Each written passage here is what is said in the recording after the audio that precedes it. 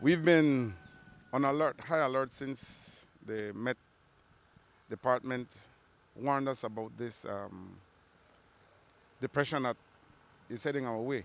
So all my supervisors when it comes to drains are all out making sure that we could clear as many uh, outlets as possible. Now, some of the low-lying areas will definitely get some water, and that's what we've been working on since Monday. Uh, if you notice the deluge that we have been getting, uh, especially since Tuesday, um, have us a little bit overwhelmed, but we are getting there. So that's the reason I'm out here this morning to make sure that uh, we could hear from the residents and we could actually see what is happening. Right? So we could get people on the ground to come out and do what needs to be done as quickly as possible. Now we're looking at certain areas that are quote unquote troublesome, including Port Loyola as one where you do have specific neighborhoods that are below the average water level, and so is the same for parts of Belama.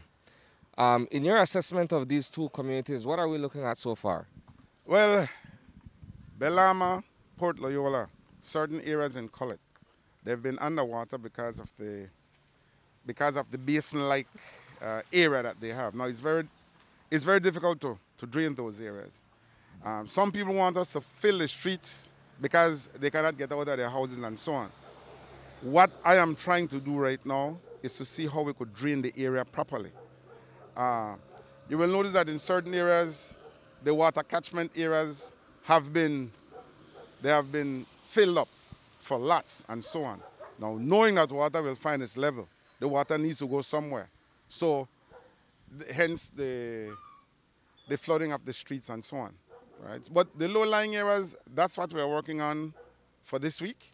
We are trying to make sure these people don't get water into their houses.